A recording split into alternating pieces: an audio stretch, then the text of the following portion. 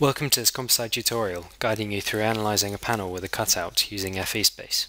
The aft longitudinal panel on our 30 foot yacht takes the backstay loads, but we want to reduce the weight and cost and increase access by creating two penetrations. We will design our basic panel for a weight and strength comparison. Let's assume it's fully fixed at the bulkhead and structural continuity is continuous into the next panel. We have specified some tapes on the deck and hull, 200mm wide. We will assume this is the width of the hull and cockpit that supports the panel. We have defined the panel as a polygon on a sketch as a base reference model.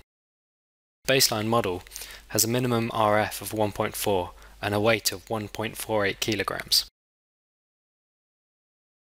The weight can be viewed by going to the FE model properties taken from the mesh. Each element's results can be viewed separately, ply by ply, or as a global model.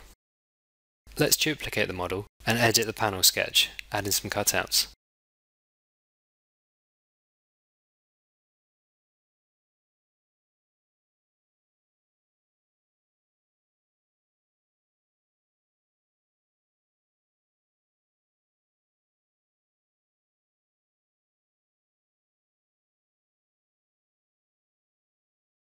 We will add edge closing by extruding the holes and applying UD plies.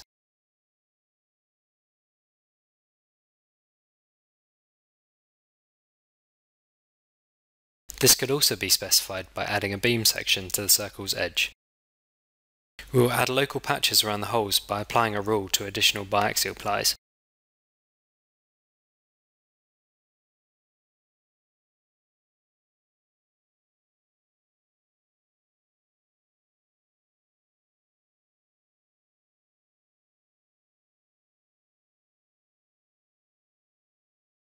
Let's remesh and calculate the model, checking the strength and weight.